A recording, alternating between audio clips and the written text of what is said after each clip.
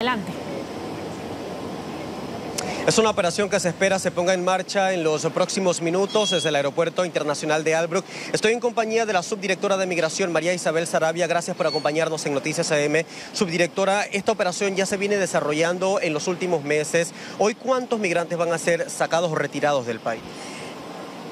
Muy buenos días, gracias por tu pregunta. Mira, todos los días nos mantenemos en operaciones. El día de hoy es el décimo vuelo de los vuelos charter contratados por el Estado eh, que van con destino a Colombia. Son 30 personas colombianas con un perfil que no es un perfil humanitario, pertenece a un perfil de seguridad. Quiero resaltar que dentro de la campaña Escudo Operación Chocó, el Estado panameño lleva 25 vuelos coordinados directamente con avionetas del Senan y otros coordinados con el Senan a través de estos vuelos charter contratados por el Estado cumpliendo nuevamente y reafirmando el rol de seguridad estratégica que tenemos en la región. Todas estas personas son colombianas, sin embargo, hay un total de la campaña escudo de 1.043 personas y de esta administración que esperamos superar los 3.000, de personas todas con perfiles peligrosos, personas que representan un peligro. Personas con perfil peligroso, me dice usted, son personas que estarían incluso vinculadas a qué tipo de delitos, por ejemplo. Mira, vemos mucho crimen organizado transnacional en sus diferentes tipos de modalidades. Definitivamente tráfico ilícito de personas, eh, trata de migrantes, tráfico de drogas, homicidas, pedófilos de diferentes nacionalidades. Debo resaltar que si bien las nacionalidades eh, del continente americano son eh, las que más se reiteran, también tenemos personas de distintos continentes, sean asiáticos, africanos y de otras eh, regiones extracontinentales. Estamos hablando de más de 116 países presentes en flujo migratorio irregular. En este momento esta operación está esperando, subdirectora, que eh, el clima mejore para poder poner en marcha este, este vuelo que se va a realizar este día. ¿Qué les han mencionado? Así es, las condiciones meteorológicas no han favorecido la salida a tiempo.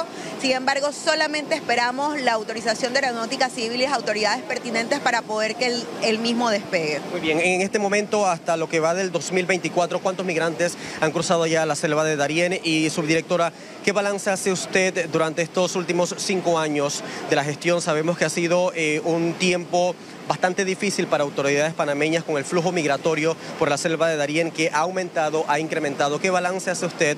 ¿Cuántos han entrado este año? ¿Y los países de la región han jugado su rol, subdirector? Mira, llevamos lamentablemente a la fecha un aproximado de 161 mil personas migrantes irregulares que han ingresado por Darién. Definitivamente Panamá ha estado solo en muchos aspectos, pero liderando y alzando la voz, denunciando lo que es para otros países, y lo digo con mucho respeto, de cielos abiertos que permiten y ven en esto un negocio vinculado con el crimen organizado.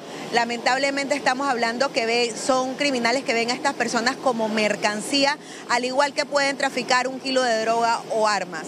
Panamá ha enfrentado en estos últimos cinco años el mayor contexto de movilidad humana internacional irregular registrado en la historia, solamente registrado eh, anteriormente por la Segunda Guerra Mundial. Es un momento inédito, es un momento que nos obliga a todos los países a tener nuestra cuota de corresponsabilidad, de responsabilidad compartida y que sea como sea, Panamá puede responder por su rol, por su labor estratégica en el hemisferio. ¿Cuánto le cuestan estos operativos al Estado panameño, estos vuelos? Usted me dice ya son 10 aproximadamente que se han realizado en los últimos meses. ¿Al Estado panameño cuánto les cuestan estos vuelos? Dentro de la campaña Escudo llevamos 12, eh, perdón, 25 vuelos con el Senan 10 vuelos charter contratados eh, con la empresa panameña de aviación.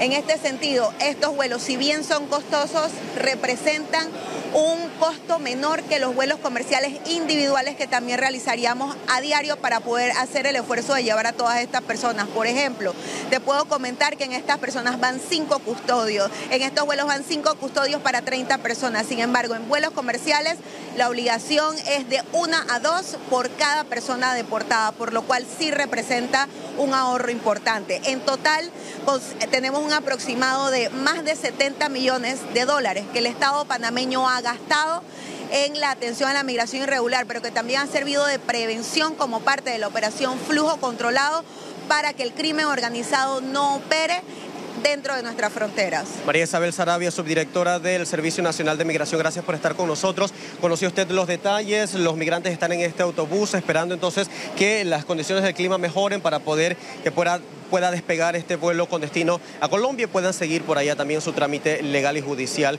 tras esta deportación que se realiza en Panamá. Voy a regresar a estudios.